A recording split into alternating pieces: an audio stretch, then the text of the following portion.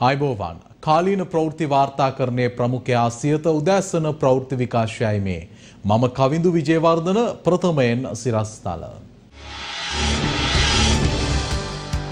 ලංකාවෙන් පිල්ලිගහපු සල්ලි ගේන්න පුළුවන්ද ජනපති නීතිඥ විජේදාස රාජපක්ෂ කියන කතාව. අපේ රටේ දරුවන්ගේ ඇස්වල කඳුළු කුසගින්න හා ශාන්ත බණ්ඩාරගේ දියණියගේ කඳුළු. ශ්‍රී ලාංකික දෙමළ ජාතිකින්ට ඉන්දියාවේ තාවකාලික සරණාගත භාවය තමිල්නාඩු බහැමතිල්ලයි. ප්‍රථමයෙන් දේශීය පුවත්. උගණ්ඩාව කියූ සැනින් අපට මතක් වෙන්නේ ඉඩියමින්ව. එක්දස් නවසය හැත්තේකේදී උගණ්ඩාවේ පාලකයා වූයේ ඉඩියමින්. ඔහු සිය පාලනය පවත්වාගෙන යාමට සමූහ ඝාතන කළ අයෙක්. ඒකාධිපති පාලකෙක් වූ ඉඩියමින් උගණ්ඩාව ආර්ථික සමාජීය සහ මානව හිමිකම් මතින් අන්ත අගාධයකට ඇද දැම්මා. උගණ්ඩාව අද ජාත්‍යන්තර මනි ලොන්ඩරයක්. උගණ්ඩාව අයත් වන්නේ අප්‍රිකා මහද්වීපේටයි. උගණ්ඩාව වටේට සූඩානය ටැන්සානියාව වැනි රටවල් තියෙනවා. උගණ්ඩාව ජනප්‍රිය වන්නෙම ඉඩි අමින් නිසා. එක්දහස් නවසිය හැත්ත එකේදී උගණ්ඩාවේ බලයගත් ඉඩි අමින් සමූහ මිනිස් ඝාතන කළ ඒකාධිපතියෙක්. මානව හිමිකම් කඩ කළ ඉඩි අමින්ගේ පාලන කාලය තුළ උගණ්ඩා ආර්ථිකයද විනාශ වුණා. දැන් උගණ්ඩාව පාලනය කරන්නේ ජනාධිපති මුසවේනි. ඔහු මෙවර පත්තුවේ හයවෙනි වතාවටයි. අදටත් මුසවේනිගේ පාලනය අන්ත දූෂිත බවට ලෝකයේ හතර අතින්ම චෝදනා එල්ල වනවා. ලෝකේ රටවල් කිහිපයක්ම තියෙනවා කළු සල්ලි සුදු කරලා දෙන්න. උපයාගත් විදිහ හෙළිදරව් කරන්නේ නැතිව ඩොලර් රටකින් රටකට ගෙනියන්න බැහැ. ඒ වගේමයි නීත්‍යානුකුල ක්‍රමය බැංකුවකින් බැංකුවකට තමයි මුදල්ලිය විය හැක්කේ. එහෙම නැතුව සූට් කේස්වල බෑග්වල කන්ටේනර්වල ප්ලේන්වල ජෙට්වල ගෙනියන්න බැහැ. වැදගත් රටකට නීතිගරුක රටකට එහෙම ඩොලර් ගෙනියන්න බැහැ. එහෙම ගෙනියන්න පුළුවන් ලෝකේ හොරුම ඉන්න හොර රටකට විතරමයි. උගන්ඩාව දැන් ජාත්‍යන්තර අසාදු ලේඛනගත වීමට ඉතාම ආසන්න රටක්. අසාදු ලේඛනගත කරන්නේ තමන්ගේ රටේ තියෙන මුදල් කාගෙද කොහොමද උපයගත්ත කියලා කියන්න බැරිවුණහමයි. මුල්ලෙ ක්‍රියාකාරී කාර්යසාධක බලකාය හෙවත් FATF දැනටමත් උගණ්ඩාවට අනතුරු අඟවල අවසන්. ඒ අනුව සත්‍ය හෙළිදරව් කළේ නැත්නම් උගණ්ඩාව අසාදු ලේඛන ගත වේවි. ඒ කියන්නේ මේ මනි ලොන්ඩරිය හෙවත් ඩොලර්වල හොර ගුහාවට සීමා සම්බාධකවලට මුහුණදීමට අනිවාර්යෙන්ම සිදුවෙනවා. දැන් අපට ඇති සම්බන්ධය කුමක්ද?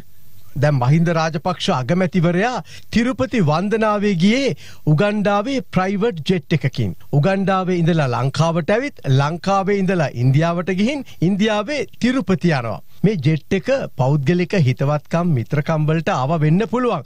නමුත් බලන්නකො මේ දුර ගුවන් සැතපුම් තුන්දස් තුන්සිය හැට්ටෑවක්. අඩ්ඩුම ගානේ පැය අටක්. මොනතරං හිතවත්කමක් මිත්‍රකමක් මේ ජෙට් එක අයිති කෙනයි අගමැති මහින්ද රාජපක්ෂයි අතර තියෙන්න ඕනෙද. ඒ වගේමයි මීට වසරකට පෙර අපේ රටෙන් ශ්‍රී ලංකන් ගුවන්යානා තුනගේ උගණ්ඩාවේ මුදල් ඒකකේ අරගෙන කියලයි කියන්නේ. ශ්‍රී ලංකන් යාලයින් නිල නිවේදනය වගේම ඩිලාරු සමාගමත් ඒ බව තරයේ පවසනවා. ඩිලාරු යනු ජාත්‍යන්තර මුදල් මුද්‍රණය කරන සමාගමක්. ඩිලාරු මුදල් අච්චුගහන ශාකාවක් අපේ රටේ බියගමත් තියෙනවා. මුලින්ම වාර්තා වූයේ මේ ගුවන්යානාවල ගෙනිච්චේ මුද්‍රිත ද්‍රව්‍ය කියලා. සාමාන්‍යයෙන් ඩොලර් එකක නෝට්ටුවක බර සහ ඩොලර් සීයේ නෝට්ටුවක බර එක සමානයි. එය ග්‍රෑම් එකක් පමණ වනවා. මේ ගුවන්යානා තුනේ ගෙනගිය මුද්‍රිත ද්‍රව්‍යවල බර ටොන් එකසිය දෙකක්. ඒ අනුව මේ ටොන් එකසිය දෙක ඩොලර් කියලා හිතමුකු. ඉනුත් ඩොලර් සීයේ නෝට්ටු නම් මේ බර එක් නෝට්ටුවකින් බෙදලා ඩොලර් සියෙන් වැඩි කළ හම වටිනාකම ඩොල බිලියන දහයයි දසම දෙකක්. මේවයිතින් උගන්ඩාවේ මුදල් ඒකකේ නම් එක් කඩදාසියක බරෙන් ගුවන්යානා තුනේ ගෙන ගිය ටොන් එකසිය දෙක බෙදලා වැඩක් නෑනේ නේද. කෙසේ නමුත් උගන්ඩාව කලු සල්ලිවලට මනි ලොන්ඩරයක් ලෙස ප්‍රසිද්ධයි. මේ ගේ ඇත්තටම උගන්ඩාවේ මුදල් ඒකකේද නැත්නම් අපේ රටේ ඩොලර්ද කියලා දැනගන්නම වෙනවා. මොකද අද බේතකටවත් අපේ රටෙන් ඩොලර් එකක් හොයාගන්න නෑ. ශීෂෙල්වලත් තත්ත්වය එහෙමම තමයි.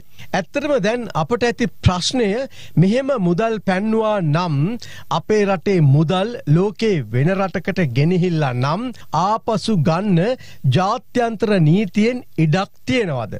මේ ඒ පිළිබඳව අප කළ විමසුමට පිළිතුරදුන් ජනාධිපති නීතිඥ පාර්ලිමේන්තු මන්ත්‍රේ විජේදාස රාජපක්ෂ මහතා.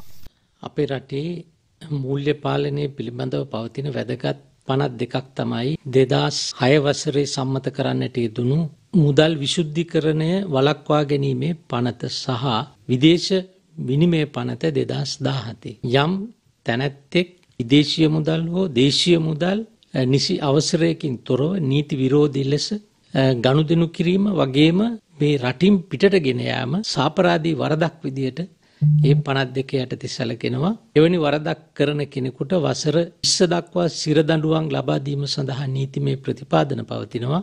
සමහර ගනුදෙනු සම්බන්ධව රාජ්‍ය මුදල් රාජ්‍ය ආයතන වලට අයත් වත්කම් එවන් බැහැර කිරීම ඉවත් කිරීම සොරකම කියන වරද යටතේ සාවද්‍ය පරිහරණය කියන දණ්ඩ නීති සංග්‍රහය වැරදි යටතටත් ගැනෙන ඉඩ තියෙනවා. ඒ ඕනෑම පනතක් යටතේ හෝ කිහිපයක් යටතේ දඬුවම් ලබා දීම සඳහා අවශ්‍ය ප්‍රතිපාදන අපගේ නීතිය පවතිනවා. රාජපක්ෂ පවුල අවුරුදු 80ක් නොමැර ජීවත් වුණා. එක දවසට රුපියල් කෝටිය ගානේ ලක්ෂ 100 ගානේ වියදම් කෙරුවත් අවුරුද්දකට අවුරුදු 80කට වියදම් ගන්න පුළුවන් කෝටි 29200යි. කෝටි 3 ලක්ෂයක් කියන්නේ පරම්පරා 10කට බවුන් හම්බ කරලා තියෙනවා. ඩොලර් බිලියන 19ක් නම් පරම්පරා 19කට. ඉතින් මෙවැනි විශාල ධනස්කන්ධයක් හොරකම් කරලා තියෙනවා. හැබැයි එහෙම තියෙද්දි දාලා යන්න බැරි තත්ත්වයක් තියෙනවා.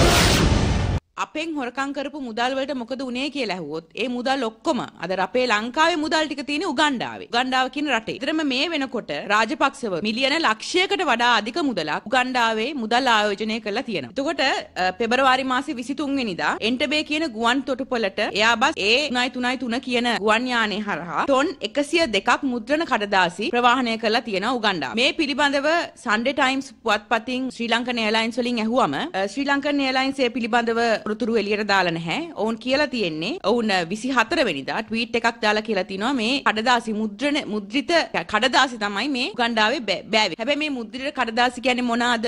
කාගේ කීමකටද මේ දේවල් ගිහින් දැම්මේ? කද කවුද මේකට මූලිකත්වය අරන් දෙන්නේ? මේ කිසි දෙයක් පිළිබඳව ශ්‍රී ලංකන් එයර්ලයින්ස් මේ වෙනකොට කිසිම ප්‍රකාශයක් කළා නැහැ. පවතින අර්බුදය හමුවේ ශ්‍රී ලංකාවෙන් ඉන්දියාවට පැමිණෙන දෙමළ ජාතිකීන්ට තාවකාලික සරණාගත භාවය දෙන ලෙස තමිල්නාඩු මහ ඇමති ඉල්ලා සිටිනවා. ඒ ඉන්දියාග්‍රාමාත්‍ය නරේන්ද්‍ර මෝදි මහතාගෙන්. අපේ රටේ ජනතාව දැන් අන්තාසරණ වෙලා බාණ්ඩ මිල හිසටත් උඩින් ඉවරයක් නැති ඉන්ධන පෝලිම් ගෑස් පෝලිම් කිරිපිටි පෝලිම් අද රටේ හැමතැනම මේවා දරාගන්න බැරුව අද අපේ රටේ ජනතාව පාරට බැහැලා මේ අතරේ අපේ සහෝදර රට එහෙමත් නැත්තම් අපේ ලොකු අයියා ශ්‍රී ලාංකික ජනතාවට උදව් කරන්න පටන් අරන්. ඒ කොහොමද කියනව නම් ලංකාවේ දෙමළ ජනතාවට ඉන්දියාවේ සරණාගතභාවය ලබා දීලා. තමිල්නාඩු මහඇමති එම්.කේ. ස්ටාලින් ලාංකික දෙමළ ජනතාවට තාවකාලික සරණාගතභාවය ලබා දෙන්න කියලා ඉන්දිය අග්‍රාමාත්‍ය නරේන්ද්‍ර මෝදි මහතාගෙන් ඉල්ලීමක් කර තිබෙනවා. හින්දු පුවත්පත වාර්තා කරන්නේ ශ්‍රී ලංකාවෙන් පැමිණෙන සංක්‍රමණිකීන්ට ඉන්දියාවේ සරණාගත කඳවුරුවල රැඳී සිටීමට හැකිවනු ඇති බවයි. තමිල්නාඩු මහැමතිවරයා ප්‍රකාශ කළේ ශ්‍රී ලංකාවෙන් පැමිණෙන පිරිස් සහෝදර ජනතාවක් ලෙස සලකා පිළිගන්නා බවයි. එසේම මෑතකදී පැමිණි ශ්‍රී ලාංකිකින් තිස් නම දෙනෙකු තමිල්නාඩුවේ සරණාගත කඳවුරක රැඳී සිටින බවත් කාන්තාවන් එකොළොස් දෙනෙකු සහ ළමුන් දාසය දෙනෙකු ඊට ඇතුළත් බවයි ඔහු වැඩිදුරටත් පැවසුවේ. රාජ්‍ය අමාත්‍ය ශාන්ත බණ්ඩාර මහතා පසුගිය දා සංවේදී වුණා. එය ඔහුගේ චූටි දුව උද්ඝෝෂකයින්ගේ හඬට බිය වී ආහාරද ගන්නේ නැති බව පවසමින්.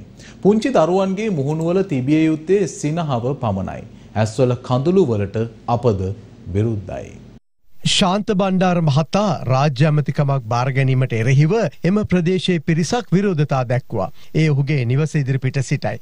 එහිදී උද්ඝෝෂිකින්ගේ හඬට ඔහුගේ පුංචි දුව බිය වූ බවයි රාජ්‍යාමාත්‍ය ශාන්ත බණ්ඩාර මහතා ප්‍රකාශ කළේ. ඇය ආහාර පවා ගන්නේ නැති බව ඔහු ඉතා සංවේදිව පැවසුවා. මගේ නිවස ඉදිරිපිට උද්ඝෝෂණ කරන්න එපා. මට චූටි දුවෙක් ඉන්නවා. ඒ දුව ඊයේ දවසම ආහාරවත් ගත්තේ නැහැ.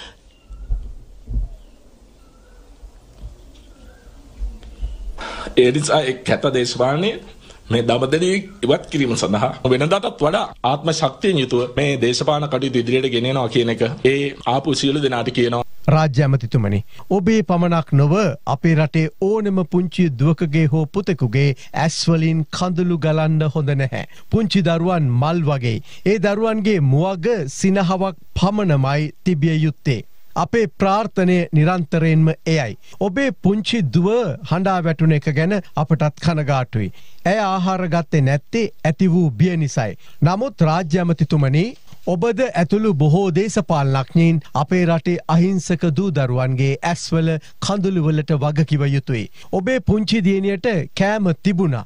ඔබට කෑම හිඟයක් අහේනියක් ඇතිවෙන්න විදිහක් නෑ. නමුත් ඇත්තටම පාන් කෑල්ලක් නැතුව බඩගින්නට හඬා වැටෙන දරුවන් කොපමන ඉන්න රටක්ද මේ. ඒ වගේමයි ඔබ ඇති හැකිපියෙක් පුංචි දියණියට සියලු පහසුකම් දෙන්න පුළුවන් තාත්ත කෙනෙක්.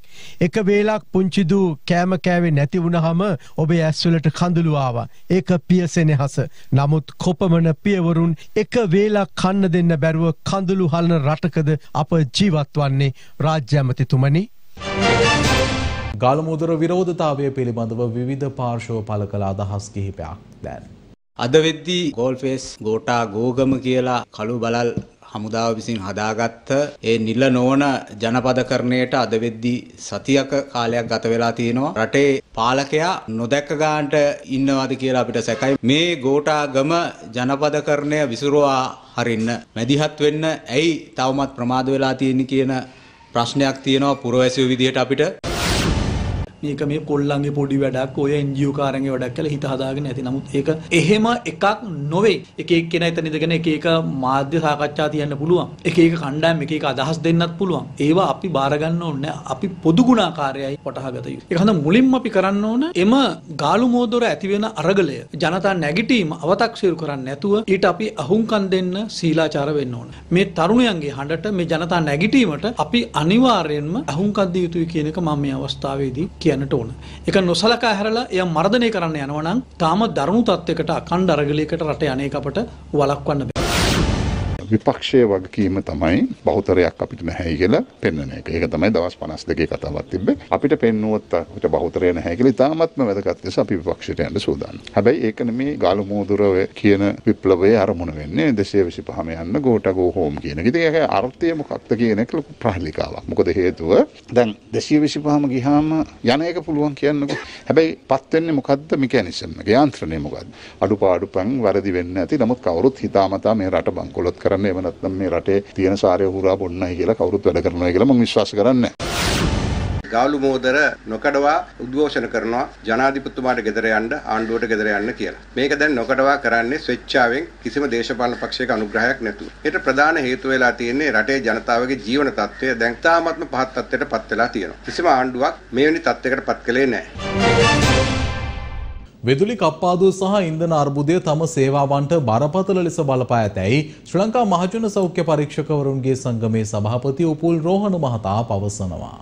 මේ වෙනකොට ලංකාව ඇතුලේ ඇති වෙලා තියෙන ඉන්ධන අර්බුදය, විදුලි බලබ අර්බුදය, ඒ වගේම ලංකාවේ ඇති වෙලා තියෙන අනිකුත් දේශපාලනික මේ ගැටලු රාශියක් මැද්දේ ලංකාවේ කාලාන්තරයක් තිස්සේ පවත්වාගෙන ආපු මහජන සෞඛ්‍ය සේවාව සම්පූර්ණයෙන්ම බිඳ වැටෙමින් තියෙනවා. විශේෂයෙන් මහජන සෞඛ්‍ය සේවාව පවත්වාගෙන යන ශේෂ්ඨ නිලධාරීන්ට ඉන්ධන සපයා ගැනීමේ හැකියාවක් නැහැ. ඒ වගේම ශීත දාමය පවත්වාගෙන යාම සඳහා ශීතකරණවලට අවශ්‍ය විදුලි බලය නැහැ. ඒ වගේම ජෙනරේටර් යන්ත්‍ර ක්‍රියාත්මක කිරීම සඳහා අවශ්‍ය ඉන්ධන නැහැ. මේ නිසා ඉදිරියේ කාලයේදී කාලාන්තරයක් තිස්සේ ලංකාවේ පවත්වාගෙන ආපු මහජන සෞඛ්‍ය සේවා නිවාරණ සේවාව කඩා වැටමින් තියෙනවා. අපි ළඟා කරගත්ත ලෝකයේ ඉහළම රටවල් වලට වඩා ඉහළින් හිටපු සෞඛ්‍ය දර්ශක මේ වෙද්දි කඩා වැටමින් තියෙනවා. විශේෂයෙන්ම ඉදිරියේදී යම් බෝන රෝග වසංගත ඇතිවීම, ඒ වගේම මාතෘහා ළමා මරණ සංඛ්‍යාව ඉහළ යාම, ඒ වගේම පාසල් දරුවන් අතර මන්ද පෝෂණය, ඒ වගේම මාතෘ සෞඛ්‍ය සම්පූර්ණයෙන් බිඳ වැටීම, ඒ වගේම ප්‍රතිශක්තිකරණය ලබා දීලා අපි පාලනය කරගත්ත රෝග තත්ත්ව නැවත හිස එසවීම වැනි කරුණු රාශියක් රාශියක් ලංකාව තුළ ඇති වෙන්න පුළුවන් ඇති වෙමින් තියෙනවා. ඒ නිසා අපි රජයේ බලධාරීන්ට සහ සෞඛ්‍ය බලධාරීන්ට කියන්නේ දැනට පවතින අපි ළඟ තියෙන සම්පත් නිසි කළමනාකරණයෙන් යුතුව ජනතාවගේ ජීවිත ආරක්ෂා කර ගැනීම සඳහා භාවිතා කරන්න කියන එක. ඒ නිසා මේ මොහොතේ මේ සඳහා මැදිහත් වීමක් කළ යුතුයි කියන එක අපි මහජන සෞඛ්‍ය පරිශ්‍රමගේ සංගමයේ විදිහට අවධාරණය කරනවා. සිංහල දෙමළ අලුත් අවුරුද්දේ හිසතෙල් ගෑමේ නැකත අදට යෙදී තිබෙනවා. සිංහල හා හින්දු අලුත් අවුරුද්දේ හිසතෙල් ගෑමේ නැකතයේදී ඇත්තේ අප්‍රේල් මස දාහත් වන ඉරිදා දිනටයි. පූරභාග හතයි හතරට රතු සහ කහමිශ්‍ර වස්ත්‍රාභරණයෙන් සැරසී දකුණු දිශාව බලා හිසට ඉබුල් පද්ද පයට නුගපද්ද තබා ඉබුල්පත් මිශ්‍ර නානුද තෙල්දගා ස්නානය කිරීම සුදුසු බවයි නැකත් සීටුවේ දැක්වෙන්නේ. රැකී රක්ෂා සඳහා පිටත්වයාමේ නැකත යෙදී ඇත්තේ අප්‍රේල් මස දහ අටවන සනුදා දිනටයි. එදින පූරභාග හයයි පනස් එකට සුදු පැහැති වස්ත්‍රාභරණයෙන් සැරසී දීකිරි මිශ්‍ර කිරිබදක් සහ කැවිලිවර්ගයක් අනුභව කර දකුණු දිශාව බලා පිටත්වයාම සුදුසු බවයි නැකත් සීට්ටුවේ දැක්වෙන්නේ. සිංහල හා හින්දු අලුත් අවුරුද්දේ අවසන් චාරිත්‍රය වූ පැලසිටුවීමේ නැකත දහට වන සඳුදාදින පූරභාග එකොළහයි දාසයට යෙදී තිබෙනවා. සුදු පැහැති වස්්‍රාභරණයෙන් සැරසි දක්ුණු දිශාව බලා පැලසිටුවීම සුදුසු බවයි නැකත් සීට්ටුවේ සඳහන් වන්නේ. දැන් තවත් පුවත් කිහිපයක් කෙටියෙන්. මොටර් රථයක් දුම්රියක ගැටීමෙන් අනතුරක් සිදුව තිබෙනවා. ඒ ගෙලියොවේ ප්‍රදේශයේදී. මෙම අනාරක්ෂිත දුම්රිය හරස් මාර්ගයේ ඇත්තේ එක් ගේට්ටුවක් පමණක් බවයි වාර්තා වන්නේ. අනතුර සිදුවන අවස්ථාවේ එහි මුරකරු සිට නැහැ. අනතුරෙන් මෝටර් රථයේ ගමන්ගත් මව පියා සහ පුත්‍රයා තුවාල ලබා ඇති අතර පේරාදෙණිය ශික්ෂණ රෝහලට ඇතුළත් කර තිබෙනවා. රෝහල්ගත කිරීමෙන් පසු පියා මියගොස් ඇති බවයි වාර්තා වන්නේ.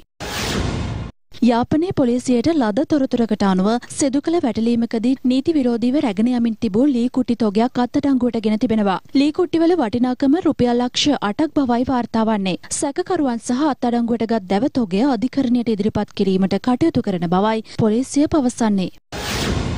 රටේ පවතින ආර්ථික අර්බුදය හේතුවෙන් මෙවර බොහෝ ප්‍රදේශවල අවුරුදු උත්සව දක්නට ලැබුණේ නැහැ. හම්බන්තොට වරාය සිට කොළඹට ඉන්ධන ප්‍රවාහනය කරන නෞකාවක අවුරුදු උත්සවයක් සංවිධානය කර තිබුණා. මෙම නෞකාව චීනයට අයත් නෞකාවක් බවයි වාර්තා වන්නේ.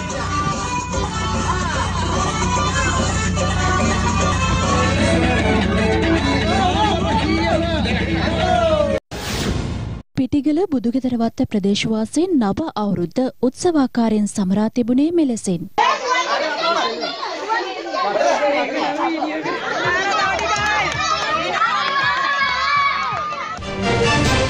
සියත උදෑසන ප්‍රවෘත්ති විකාශයමින් නිමාවට පත්වනවා වැඩිදුර තොරතුරු සඳහා පිවිසෙන්න www.සියතnews.lk අපගේ වෙබ් පිටුව වෙත. අප යාලිත් හමුවන්නේ අපගේ මධ්‍යහන ප්‍රවෘත්ති විකාශයෙන් ඔබට එතෙක් සුබ දවසක්.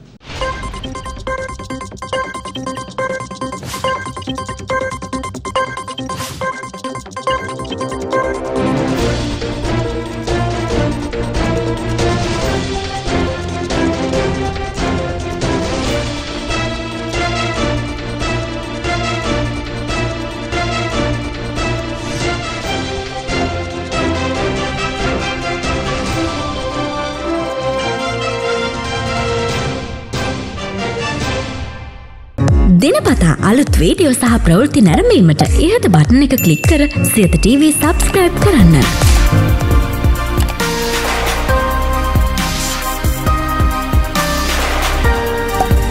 අලුත් වීඩියෝ ගැන මුලින්ම දැනගන්න මෙම සීනුව ක්ලික් කරන්න.